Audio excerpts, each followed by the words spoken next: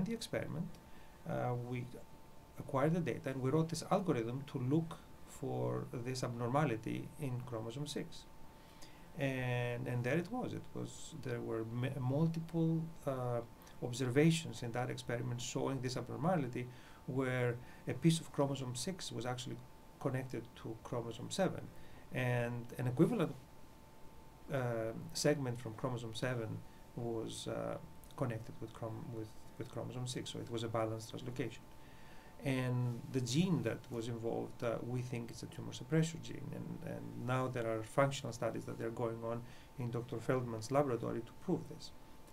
Um, but we found this one translocation and we went to validate it in multiple patients and, and there it was. We found it that it was a recurrent translocation